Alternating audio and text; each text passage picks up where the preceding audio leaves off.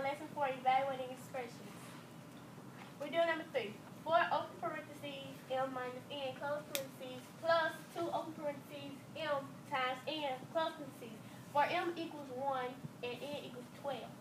First, we're going to substitute um, m with 1, and then substitute n with 12.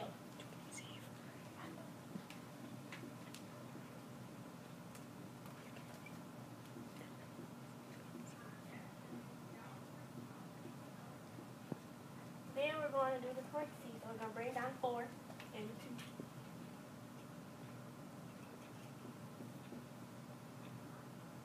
minus 12 is negative 11. 1 times 12 12.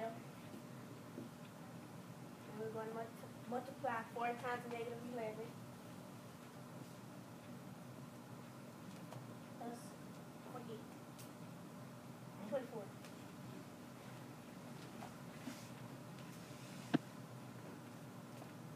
I actually made it twenty.